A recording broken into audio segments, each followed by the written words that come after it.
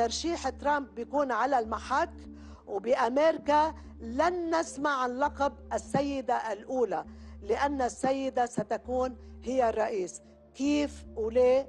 العلم عند الله. تنافس محموم بين العرافين اللبنانيين لكنه انتهى بانتصار مدون للعراف اللبناني الذي استطاع أن يرى ويقول ما حدث بالضبط فيما سقطت مواطنته المشهورة في خطأ جعل سمعتها على المحك. فما القصة؟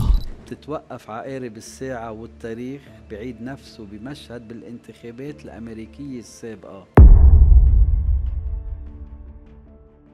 لن نصدقك مرة أخرى. بتلك الكلمات تفاعل العديد من رواد مواقع التواصل الاجتماعي مع التوقعات التي أطلقتها العرافة اللبنانية ليلى عبد اللطيف التي أخفقت في توقع الاسم الصحيح للمرشح الفائز بالانتخابات الرئاسية الأمريكية. ليلى عبد اللطيف قالت منذ عدة أسابيع عند سؤال إن كان من سيربح هو المرشح الجمهوري دونالد ترامب أم منافسته الديمقراطية كامالا هاريس؟ لتجيب بكل ثقة أتوقع أن يصبح للولايات المتحدة أول سيد سيدة تصبح رئيسة الولايات المتحدة الأمريكية وهنا كانت المفاجأة حيث أظهرت الانتخابات الأمريكية فوزا ساحقا وكاسحا للمرشح الجمهوري دونالد ترامب الذي عاد إلى البيت الأبيض مرة أخرى. وبالتالي فإن توقعات ليلى عبد اللطيف أثبتت عدم صحتها. على إثر ذلك ثارت حالة من الاستياء الواسع من العرافة اللبنانية من كثيرين ممن اتهموا بنشر مزاعم غير دقيقة والادعاء بأمور ثبت أنها غير صحيحة. وهو ما يؤكد مرة أخرى صحة القول بأن كذب المنجمون ولو صدفوا. في مقابل ذلك، استشهد آخرون بتوقعات مقابلة أدلى بها خبير الفلك اللبناني ميشيل حايك الذي نشر أيضا توقعات عن الانتخابات الأمريكية، لكنها كانت أكثر واقعية عما قالته ليلى عبد اللطيف. ميشيل حايك قال إن تحليلاته الفلكية تشير إلى تدخلات كونية معقدة تجعل من شهر نوفمبر فترة زمنية مليئة بالأحداث غير المتوقعة وأشار إلى أن هذه التدخلات قد تؤدي إلى حدوث كوارث طبيعية وأزمات سياسية واجتماعية في مناطق مختلفة من العالم. وأضاف حايك أننا سنشهد تحولات جذرية قد تغير مسار التاريخ. أثارت تصريحات حايك حالة من القلق والذهول بين الجمهور حيث انقسمت الآراء بين مصدقين ومشككين في دقة هذه التنبؤات خصوصا بسبب ما قاله عن الانتخابات الأمريكية. حيث قال إن سيدة أمريكية من الطبقة السياسية ستتعرض لمصير مأساوي لم يحدد ماهيته. لكن البعض ربطه بما حدث للمرشحة الديمقراطية كامالا هاريس التي باتت عمليا خارج الحياة السياسية في الولايات المتحدة الأمريكية. ليس هذا فحسب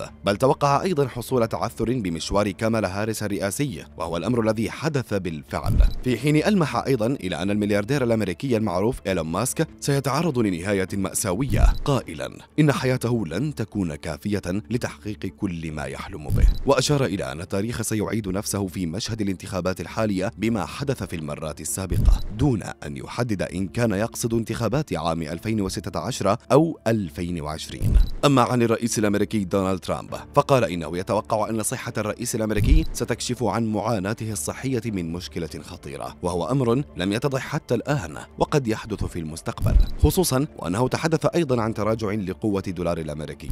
وسبق أن أدلى ميشيل حايك بمجموعة من التوقعات المثيرة التي سببت حالة من القلق والتفاعل الكبيرين حيث قال إنه يتوقع أن نشهد انتشار حالة من الذعر داخل مول أمريكي. كما سنشهد مظاهرة مسلحة في مدينة لاس فيغاس وسيكون الهدف من ذلك رأس أمريكي مؤكدا أن الأحداث المتواترة ستسبب دهشة كبرى في وول ستريت. تحدث حايك أيضا عن دور محتمل للنائب السابق للرئيس الأمريكي مايك بنس والذي سيكون محورا أساسيا لمجموعة من القضايا المتشابكة. وأشار عالم الفلك اللبناني إلى أن وزير الخارجية الأمريكي أنتوني بلينكن قد يتورط في أكثر من ملف وسيجد نفسه في دائرة خطيرة كاشفا عن ظهور ملابسات جديدة ستظهر إلى العلن في قضية اغتيال أسامة بن لادن. لم يكن فوز ترامب هو أول إخفاقات ليلى عبد اللطيف بل كانت هناك عدة توقعات لها لم تتحقق أيضا. فمثلا توقعت ليلى عبد اللطيف أن يزور الرئيس الفرنسي إيمانويل ماكرون سوريا في بداية عام 2024 وهو ما لم يحدث حتى الآن.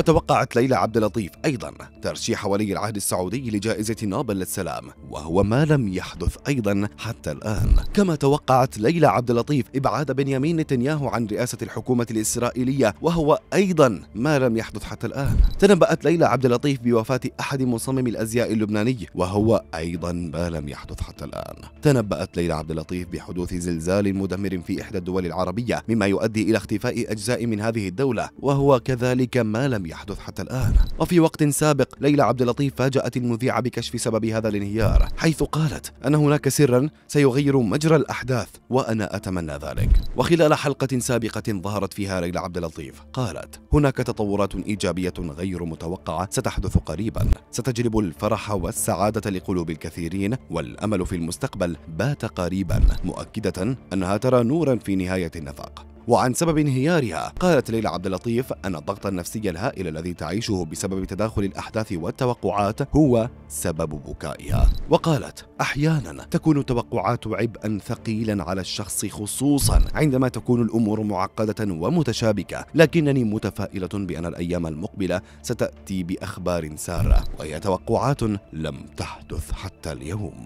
ومع استمرار تداول تلك التوقعات فإن الجدل يتواصل بين المتابعين والمغردين وسط تأكيدات من الكثيرين بأنه قد حان الوقت من أجل تجاوز التفكير بتلك الطريقة التي تؤثر على طريقة التفكير العقلاني والمنطقي وتدفع الناس لتصديق المنجمين أو العرافين لأنه حتى لو صدقت توقعات العرافين مرة فإنها لا تعني أنهم يرون المستقبل أو يعلمون الغيب ومع تحقق توقعات ميشيل حايك وفشل ليلى عبد اللطيف ما السبب برأيك في ذلك؟ Пока.